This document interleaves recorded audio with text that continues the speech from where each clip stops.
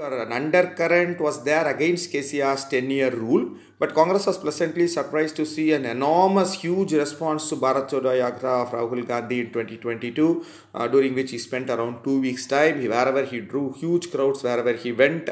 Um, and later in 2023, earlier Congress got a major boost uh, because of Karnataka elections, where they decisively won against. Uh, BJP, the might of BJP, I would say, and that has rubbed off, particularly in the bordering districts of Mehboob Nagar, Rangareddy, Medak, and Nizamabad that border Karnataka, and a lot of money uh, is also flowing from uh, Karnataka into Andhra. Um, and not to forget the local factor, Mr. Revanth Reddy, who is the Pradesh Congress president. He's a relatively young chap, 52 years old, very dynamic, uh, very organized um, uh, tireless worker who, who, who, who takes the bull, uh, the bull read KCR here by its horns, uh, ready to give it back. And, um, and the key factor has been, in my opinion, that Congress has been able to get its own original um, social combination that is headed by Reddy's, remember uh, YSR, um, with along with when there is a strong leader, Reddy's form around 7 to 8 percent of the population. Uh, though Mr. KCR, who also comes from a dominant community called Velamas, but his community is only hardly 1 to 2 percent. Um, but he, he tried to keep the Reddys in good humor because Reddys control the economy of Telangana and to large extent in Andhra Pradesh also.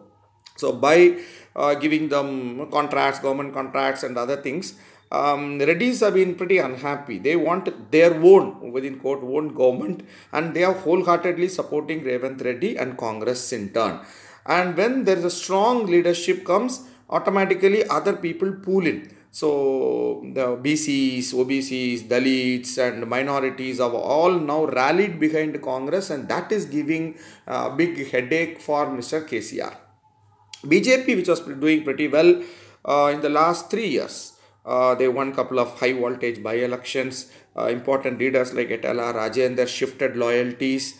Uh, they have a firebrand RSS uh, local man, um, Bandi Sanjay Kumar, uh, who also loves to take on KCR heads on.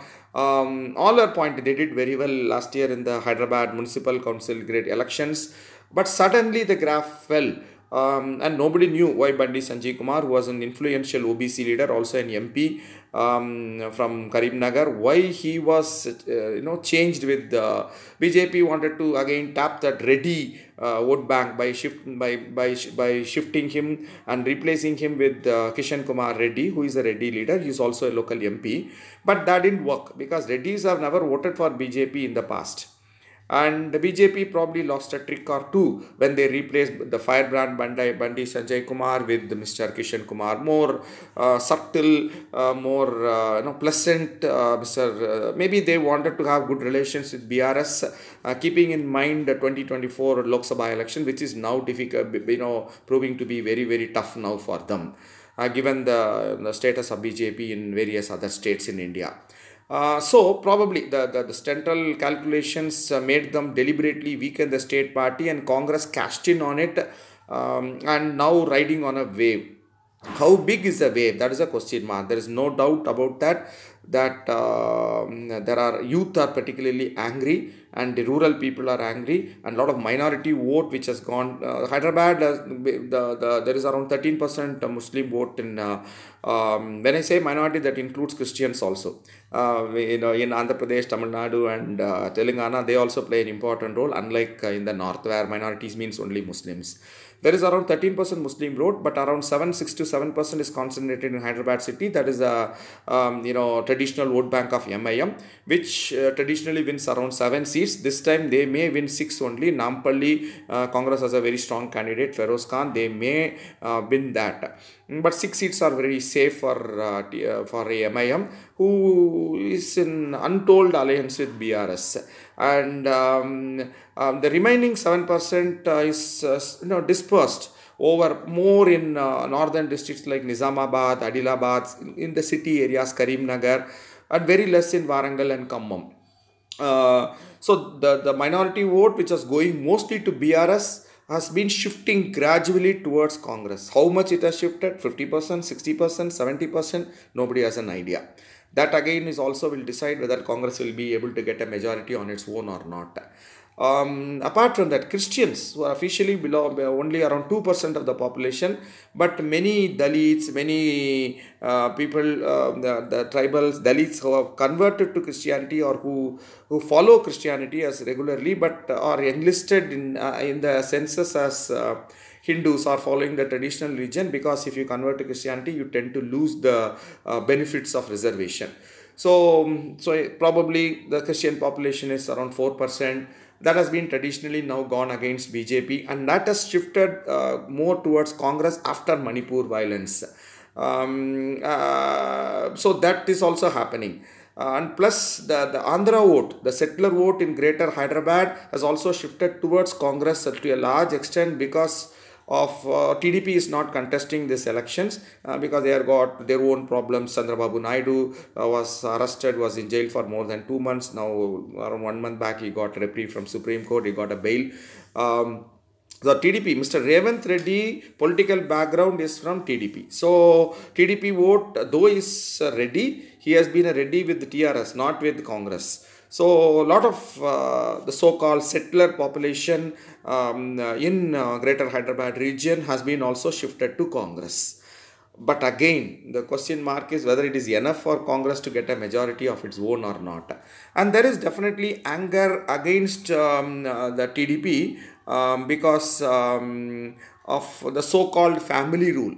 Uh, Mr. KCR is the CM and his nephew Mr. Harish Rao is the finance minister and his son uh, KTR uh, is the uh, IT minister, health minister, and various other uh, commerce minister, various power big portfolios. His daughter Kavita is an MLC, was a former MP before she surprisingly lost the Nizamabad seat in 2019 and um, he promised a Dalit CM when he was elected in 2014. So that, that, definitely reminds uh, you know uh, the, the, the, the flashpoint that people are angry um, uh, with the KCR. But yes, his advantage is the so various welfare measures announced by him um, and uh, probably uh, he has not marketed them well as much as Mr. Gehlot has done in uh, in Rajasthan. But still, people recognize the reasonable good work done by him in the in the last 10 years. But as I said, normally anti-incumbency fatigue factor sets in once you have been in government for such a long time. People want to have a fresh face. So the question now is um, nobody denies that um, the, the, the Congress, one more interesting factor is Congress has never got a uh, majority in, um, uh, in this 119 seats since 1983. The 1983 I am taking the year because that was a year when Mr. N.T. Ramarao formed TDP. Uh, they have never crossed the 60 mark. 60 is the uh, out of 119 is a majority mark. Congress maximum has got 58 only. One time got 58, one time they got 53 because TDP has been always been a major player here, and they used to get the votes of the OBCs here. Most of the OBCs here uh, vote traditionally used to vote for TDP. That vote bank has uh, gone to um, BRS now. Um, uh, now uh, the, the, the vote bank difference between the last election between Congress and 2018 uh, assembly election has been 18 percentage points. Congress got around 28.5, 28.8 or something and uh, TDP has got 46.8. It's a huge gap. Even taking into account the alliance partners Mahakutami, the difference was around 14 percentage points. So Congress needs around 7.5 percentage points up and uh, BRS to down by 7.5 percentage points down. And they also need to get some other votes uh, around 2 to 3 percentage votes from other smaller parties so that they can get over this magical figure of somewhere around uh, 42 43 percentage uh, which will give them a majority simple majority to work with. Whether they got this nobody know. There is no denial that TRS vote will come down and the seats also will come down from 88 um, there is no doubt Congress will go up from 19 to somewhere above 40. There is no doubt about that also. And there is no doubt that BJP has not done well. BJP got around 7.5 percentage vote last time.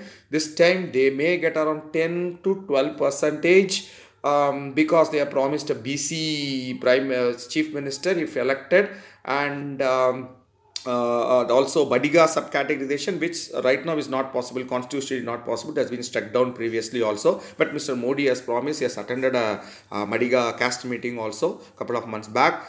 Uh, so BJP is pretty strong in the northern districts, relatively speaking, particularly Nizamabad and uh, Karimnagar, where they have got uh, the sitting MPs. They are contesting also. Um, uh, Sanjay, Bandi Sanjay, and Dharmapuri Arvind are contesting elections also this time. The two constituencies they have a fighting chance, though it is very tough for them. Another constituency where they are in the fight is Goshamahal, where they have been winning in the last two elections. The firebrand Raja Singh, the Lodh Rajput leader, uh, the, which is the, the seat has got lot of uh, you know North Indian voters. Um, and it's communally polarized because it's in Hyderabad.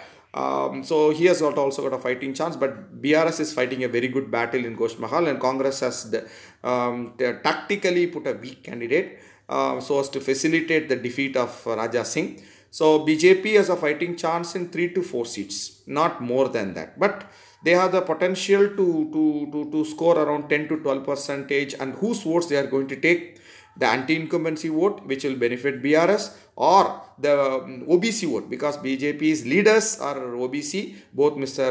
Uh, Sanjay, Bandi Sanjay and Arvind are from the uh, Munnuru Kapu uh, community, BC community and they are strong local leaders also. If they take the OBCs who have never voted really voted for Congress in the last 40 50 years, uh, that will benefit Congress. In fact, rather than uh, um, you know being a disadvantageous thing to them, this is remains to be seen. The amount of voting percentage, how much they will get, and whose vote they are going to take.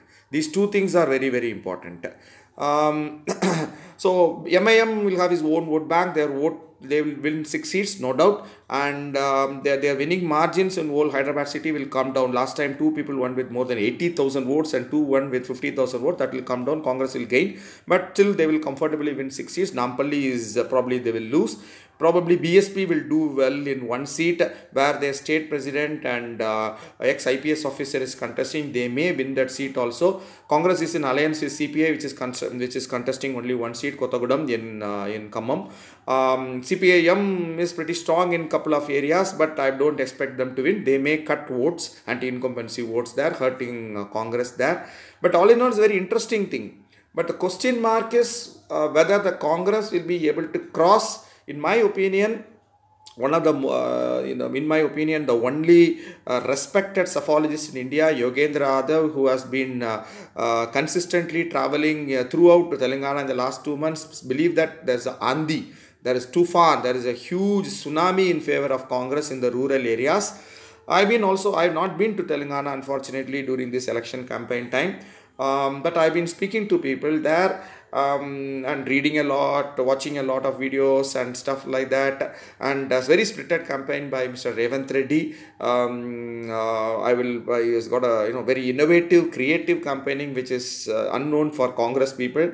And um, there are good times for Congress because they got young leaders like D.K. Shivakumar and Revanth Reddy and Sachin Pilot um, who can uh, you know the future of the party, uh, Congress party there. But whether Congress will be able to cross that magic number 60 is a big question mark. Uh, because uh, even if Congress gets 59 and uh, let's say that uh, BRS gets 50 and uh, this uh, these people six they will get six six seats. MIM um, uh, so will get six seats and BJP three or four. Uh, they will give both MIM and BJP will get outside support to BRS and they will form the government and within two or three months they will buy 20 to 30 Congress MLAs. Last time Congress won 19 MLAs and within six months within six months 12 of them crossed over to TRS including senior Congress leaders like Sabita Indra Reddy who was a home minister of Indra. Now she also she is education minister in the TRS government uh, contesting elections also this time. So that is also possible. Uh, so for Congress to win, uh, the, they have to form the government. 60 is needed. Uh, if anything less than 60, even one seat less than 60, it is victory for BRS. Now BJP's aim in the last one week is simple. They need, they want to stop Congress from winning. And because Congress is definitely winning Chhattisgarh in MP and putting a close fight in Rajasthan, I said it's even Stevens in Rajasthan in the my yesterday's uh, post. So Mizoram also Congress is expected to do well, probably form a coalition government uh, there. So they have to stop Congress. so that is the only uh, that that itself is a win for bjp because they want to concentrate on 2024 lok sabha elections but a win for congress in telangana will completely means that, uh, that they get a big boost in south india in karnataka telangana kerala and tamil nadu in alliance with the dmk the only state where they are weak is um, uh, Andhra Pradesh. Probably they may even TDP may go for an alliance with Congress, even though Janasena, uh, Pawan Kalyan's party, which is in NDA, which is contesting uh, Telangana elections in eight seats as, as partner of BJP, uh, may have to maybe forced to rethink its strategies. A lot of uh, you know political uh, um, uh, new alliances and new combinations we may see in South India based on Telangana elections. But it's very very tight election. Tight in the meaning that i have absolutely no i'm sure that congress will emerge as a single largest party. But as i said 55 won't be enough for congress. They have to score 60 minimum. Uh, though Yogendra Yadav predicts a tsunami, I don't see that because uh, a simple factor is, uh, um, you know, see, KCR still has got a good name um, uh, though there have been you know, allegations, corruption allegations, Kaleshwaram, very innovative campaigning by Congress, Kal- Kaleshwaram ATM and all those things, bye bye KCR, all that. Uh, but still, KCR enjoys goodwill because of the welfare measures he has brought in and his role in the formation of Telangana. But Congress will emerge as a single largest party whether it will be the, the, the now as I said the low voting now uh, gives it very very uh, new phenomena. We don't know what is going to happen. Um, we have to wait and see. Now you can uh, watch the um, uh, opinion polls which will start coming for the all five state elections also. Anyway bye take care